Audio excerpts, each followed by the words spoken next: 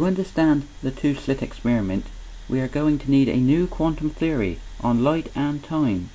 In this diagram, light will expand in all possible directions as a wave-particle function of quantized wavefronts. When the wave function reaches the screen with the two slits, the photon will react with the electrons of the screen. This will collapse the wave-particle duality of the light, creating new quantum particles in space and new moments in time. The part of the wave that does not come in contact with the screen will expand in all possible routes, going through both slits as two light spheres of quantized wavefronts. Constructive and destructive interference between the waves will cause them to superimpose or cancel each other out. When this wave particle function comes in contact with the screen, it will collapse, creating moments in time and quantum particles in the shape of an interference pattern. When the observer turns on a detector to determine which slit a photon passes through, the interference pattern collapses. This is because to observe the photon, we have to create a photon-electron coupling, collapsing each wave front into a new quantum particle that will have its own position in space and time. When we turn the detector off, we remove the photon-electron coupling and in time the interference pattern will reform. Understanding time is the key to understanding the two-slit experiment. In this theory, the wave function represents the time continuum at the most fundamental level. Time only moves forward because the probability of the wave function only works one way. We always know the position or momentum of a quantum particle in the past. The uncertainty principle of quantum physics is the same uncertainty that the observer will have with any future event. Put very simply, the light emitted by an atom now is going to be absorbed by another atom later on, and this is the fundamental process that creates the time continuum. Every object in our universe will create its own time and space by collapsing the light waves of electromagnetic radiation into new quantum particles that will have their own position in space and time that the wave function never had before the collapse. It is because the observer can choose when and where to collapse the wave function that we have free will to create our own future. The wave-particle duality of light, or electromagnetic radiation, is continuously creating a blank canvas for the observer that she or he can participate in. This is what Socrates called a sea of beauty. The individual observer as a group of atoms is the only true reference frame because they are creating their own time and space relative to their position and momentum.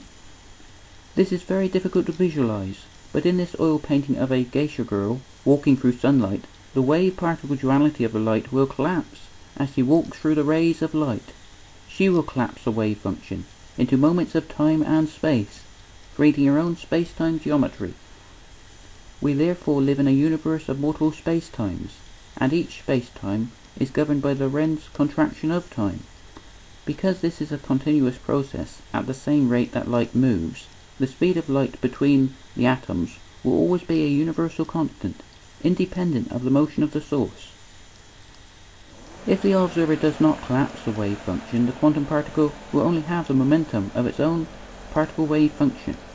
At a fundamental quantum level, the observer is the observed, within his or her own created spacetime.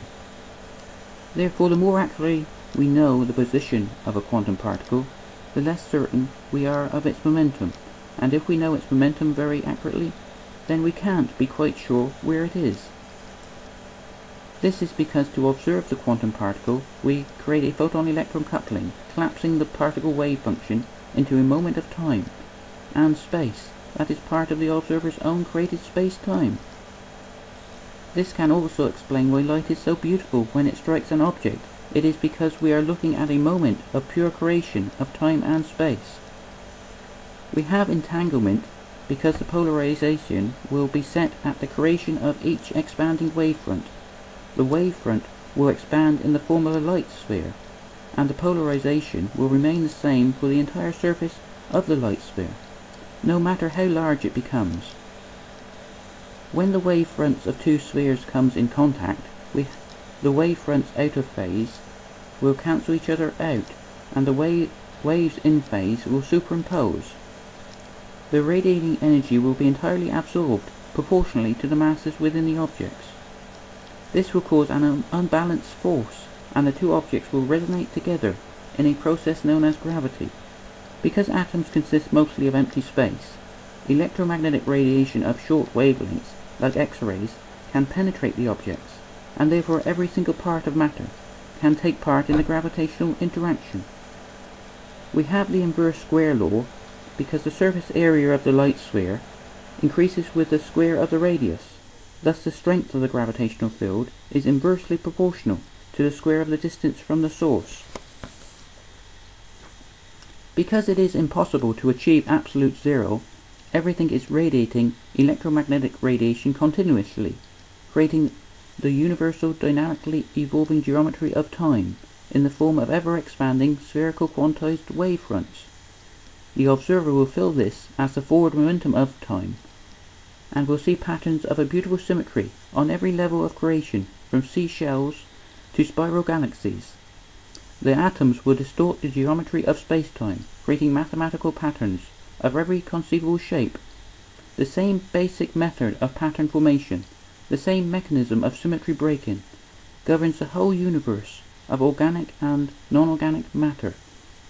Only a slight distortion in the space-time symmetry will spiral out, creating the visual patterns of our universe. Therefore, the infinity of time is an innate property of matter, whatever form or shape it takes, and this is why momentum itself is frame dependent, and we have relativity. Even a child's toy spinning top will form its own space-time geometry, relative to its position and momentum, creating its own gravitational field. It is easy to see how our infinite sequence of whole numbers can represent the infinity of three-dimensional space, because the numbers can be used to represent three-dimensional shapes. But it is the irrational numbers that drop out of the whole number sequence that represent the never-ending expansion of time. In quantum atom theory, the irrational number pi is a physical constant and represents the expanding curvature of space-time. It is not just because it is random and carries on expanding forever. Its position within the whole number system points towards its link with the forward momentum of time. In quantum physics it takes three quantum numbers to calculate the wave function as it expands as an inverse volume of space. The number pi is in the calculations at almost every stage, representing the geometry of three-dimensional spacetime. This theory is very simple but I think it is also very beautiful. It can explain all the paradoxes of quantum mechanics. It also explains why light is a universal constant, and why we have the forward momentum of time. But above all this, we have the free will for the creative evolution of our own reality within the dynamically evolving universe of Einstein, and quantum mechanics and the classical mechanics of Newton are united